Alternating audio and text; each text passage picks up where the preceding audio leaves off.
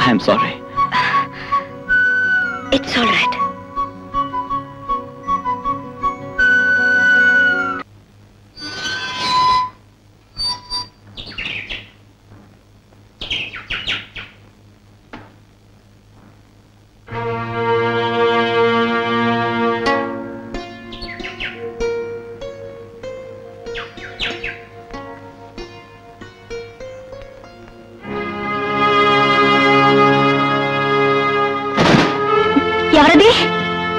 బాగా అడిగావు ప్రమీల.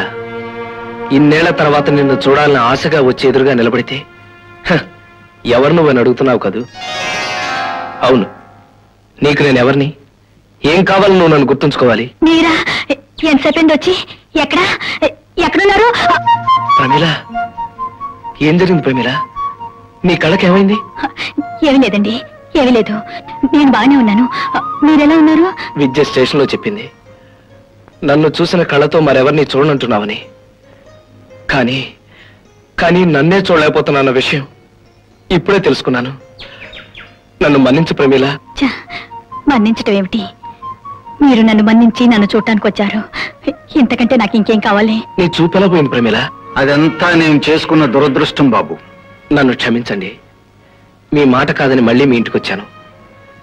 ప్రమీల నీ పరిస్థితిలో చూస్తానని నేను కల్లో కూడా అనుకోలేదు. అనుకునుంటే అసలు వచ్చేవాడివి కాదేమో? దయచేసి అలా అనకండి. నేను మనిషిని మారలేదు నా మనసు మారలేదు. ఎప్పటికైనా రోజులు మారాలని మంచి రోజులు రావాలని ప్రతిరోజు ప్రార్థించే పాత బోసుని. నేను వస్తానండి. వస్తా ప్రమీల. అమ్మా. Hello police station? మీరు ఏ నెంబర్ డైల్ చేశారు? One zero zero. అది పోలీస్ స్టేషన్ నెంబర్ అని మీకు తెలుసా?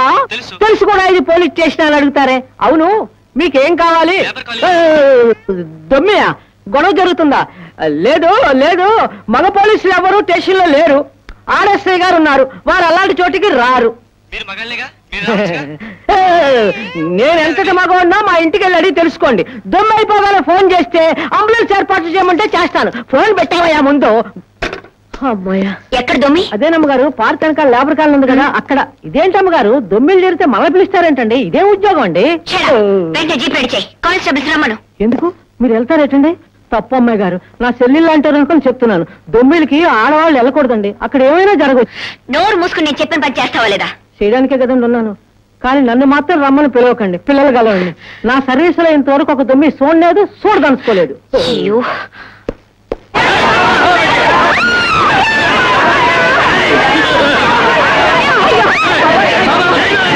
Come on.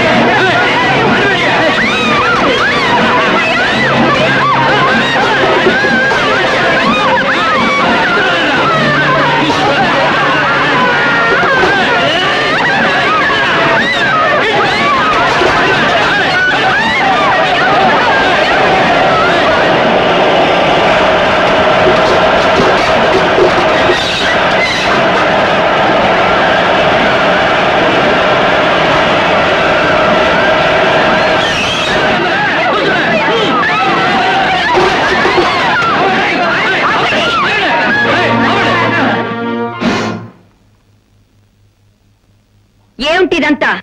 ఇది నా స్వవిషయం.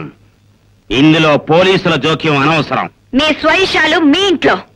ఇలా బజార్లో జరిగేవి పబ్లిక్ విషయాలు.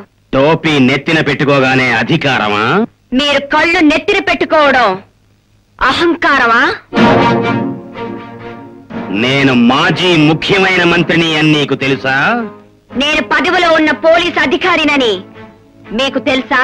నేను కూడా మరో ఐదేళ్ళలో పదవిలోకి రాగలను. తెలుసా? నేను మరో నలభై ఏళ్ళ వరకు పదవిలోనే ఉండగలననే విషయం మీకు తెలుసా? ఈలోగా నేను మళ్ళీ పదవిలోకి వచ్చాక నీ రిటైర్మెంట్ వయస్సుని పాతిక్కి తగ్గించేస్తాను. మీ ఇష్టం వచ్చినట్లు తగ్గించడానికి పెంచడానికి ఇవి ఎన్నికల్లో ఓట్లు కావు. రాజ్యాంగం. హ, అవసరమైతే ఆ రాజ్యాంగాన్నే మార్చేస్తాం. అప్పుడు రాజ్యాల్నే మారుస్తారు ప్రజలు. ఇది రామరాజ్యం. హ్మ్, మీ రాజ్యం కాదు. ఇది నా స్థలం నా ఇష్టం. వీళ్ళ చేత ఖాళీ చేయించే హక్కు నాకుంది. హక్కును దుర్వినియోగం చేసుకునే హక్కు మీకు కాదు. మిమ్మల్ని పుట్టించిన దేవుడికి కూడా హక్కు లేదు. కానీ నాకుంది. ఈ స్థలంలో ఇల్లు కట్టుకోమని పర్మిషన్ ఇచ్చింది నేను. ఇప్పుడు ఖాళీ చేయించే హక్కు నాకెందుకుండదు? ఇప్పటికిప్పుడు ఖాళీ చేసి ఎక్కడ పొమ్మంటారు? దిక్కున్న చోటికి పొమ్మనండి. నా ఫ్యాక్టరీలో పనిచేశారు కాబట్టి ఇంతకాలం ఉండనిచ్చాను ఇప్పుడు వాళ్ళ లీడర్ బోసుగాడితో కలిసి కొత్త ఫ్యాక్టరీ కట్టుకుంటున్నారు కదా ఆ స్థలంలోకి పోయి గుడి తినేసుకుని బతకమనం. మీకు బోస్ బాబుకి మధ్య ఉన్న వ్యక్తిగతమైన కక్షలకి ఈ అమాయకుల్ని బలి చేస్తారా? తెలివి తక్కువగా మా విషయాల్లో జోక్యం చేసుకోవద్దు mister. I'm sorry miss Vidya తెలివి తక్కువగా తొందరపడద్దు మిస్టర్ ముఖ్యమంత్రి. ఐఎమ్ సారీ మాజీ ముఖ్యమైన మంత్రి.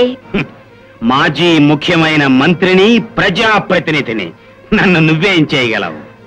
ప్రజల కప్పకారం తలపెట్టి ప్రజల కష్ట సుఖాలు పక్కన పెట్టి ప్రజల కోసం ఉద్దేశించిన చట్టాన్ని కూడా వ్యతిరేకించే మాజీ ప్రజా ప్రతినిధిని అరెస్ట్ చేస్తాను. అందరినీ అరెస్ట్ చేయించే నన్ను నువ్వు అరెస్ట్ చేస్తావా?